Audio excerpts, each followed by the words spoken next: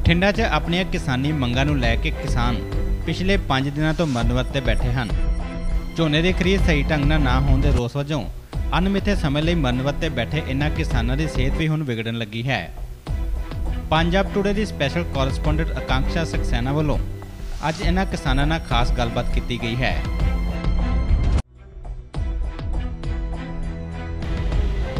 ਸਰਕਾਰਾਂ ਭਾਵੇਂ ਕੋਈ ਵੀ ਹੋਣ ਪਰ ਪੰਜਾਬ ਦੇ ਕਿਸਾਨਾਂ ਨੂੰ ਆਪਣੀ ਮੰਗਾਂ ਨੂੰ ਲੈ ਕੇ ਹਮੇਸ਼ਾ ਸੜਕਾਂ ਤੇ ਉਤਰ ਕੇ ਹੀ ਸੰਘਰਸ਼ ਕਰਨਾ ਪੈਂਦਾ ਹੈ।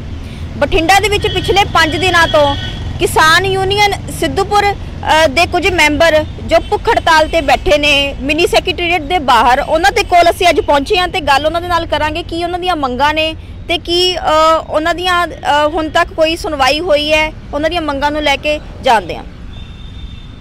ਸਤਿ ਸ਼੍ਰੀ ਅਕਾਲ ਜੀ। ਕੀ ਨਾਮ ਹੈ ਤੁਹਾਡਾ? ਭੋਗ ਸਿੰਘ ਮਾਨਸਾ ਬੀਕੇਯੂ ਸਿੱਧੂਪੁਰ ਦੇ ਜਨਰਲ ਸੈਕਟਰੀ। ਹਾਂਜੀ। ਕੀ ਤੁਹਾਡੀਆਂ ਮੰਗਾਂ ਨੇ ਤੇ ਅ, ਤੁਸੀਂ ਇੱਥੇ ਬੈਠੇ ਹੋ ਪਿਛਲੇ 5 ਦਿਨਾਂ ਤੋਂ ਭੁੱਖ ਹੜਤਾਲ ਤੇ ਤੁਹਾਡੇ ਕੋਲੇ ਕੋਈ ਆਇਆ ਹੁਣ ਤੱਕ?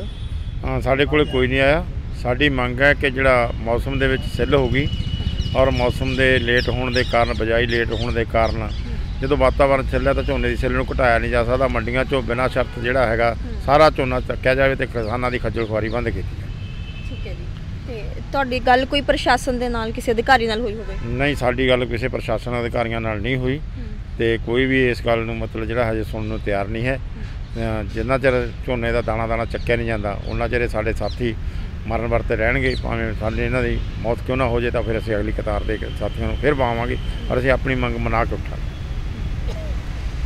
ਤੁਸੀਂ ਕਹਿਣਾ ਚਾਹੋਗੇ ਕੁਝ ਤੁਸੀਂ ਬੋਲੋਗੇ ਕੁਝ ਕੀ ਨਾਮ ਹੈ ਜੀ ਤੁਹਾਡਾ?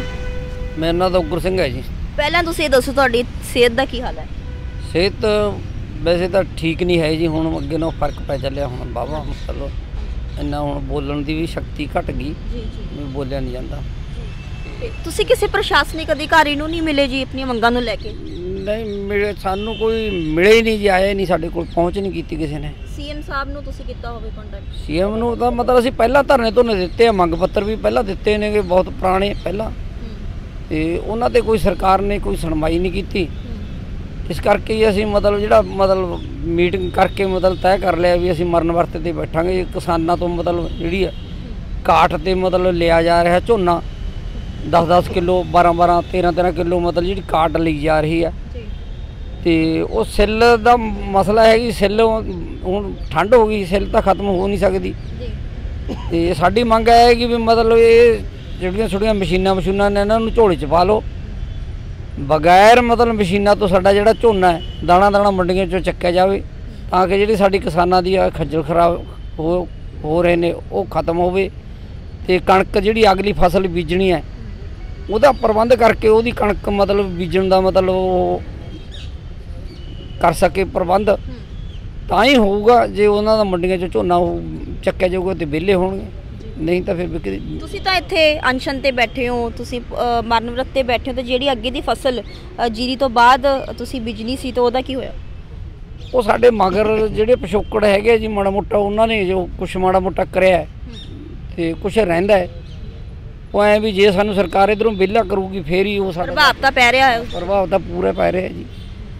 ਕਦੋਂ ਤੱਕ ਤੁਸੀਂ ਜਿਹੜਾ ਤੁਹਾਡਾ ਇਹ ਮਰਨ ਵਰਤ ਹੈਗਾ ਕਦੋਂ ਤੱਕ ਤੁਸੀਂ ਜਾਰੀ ਰੱਖੋਗੇ? ਜਿੰਨਾ ਚਿਰ ਸਾਡੀ ਸਮੱਸਿਆ ਦਾ ਹੱਲ ਨਹੀਂ ਹੁੰਦਾ। ਸਮੱਸਿਆ ਸਾਡੀ ਝੋਲ ਜੀਰੀ ਨੂੰ ਲੈ ਕੇ ਜਿੰਨਾ ਚਿਰ ਜੀਰੀ ਮੰਡੀਆਂ 'ਚੋਂ ਦਾਣਾ ਦਾਣਾ ਨਹੀਂ ਚਗਿੰਦੀ, ਉਹਨਾਂ ਚਿਰ ਸਾਡਾ ਮਰਨ ਵਰਤ ਜਾਰੀ ਰਹੂਗਾ। ਸੋ ਇਹ ਸਨ ਭਾਰਤੀ ਕਿਸਾਨ ਯੂਨੀਅਨ, ਏਕਤਾ ਸਿੱਧੂਪੁਰ ਦੇ ਮੈਂਬਰ ਜਿਨ੍ਹਾਂ ਦਾ ਕਹਿਣਾ ਹੈ ਕਿ ਸਾਡੀਆਂ ਜੋ ਮੰਗਾਂ ਨੇ ਉਹ ਜਦ ਤੱਕ ਪੂਰੀਆਂ ਨਹੀਂ ਹੁੰਦੀਆਂ, ਉਹਨਾਂ ਦਾ ਇਹ ਜੋ ਅਨਸ਼ਨ ਹੈਗਾ, ਜੋ ਉਹਨਾਂ ਦੀ ਭੁੱਖ ਹੜਤਾਲ ਹੈਗੀ ਆ ਮਰਨ ਵਰਤ ਤੇ ਉਹ ਬੈਠੇ ਨੇ ਉਹਨਾਂ ਦਾ ਜਾਰੀ ਰਹੂਗਾ। ਬਠਿੰਡਾ ਤੋਂ ਸਹਿਯੋਗੀ ਪੱਤਰਕਾਰ ਰਜਤ ਦੇ ਨਾਲ ਆਕਾਂक्षा ਸਕਸੇਨਾ।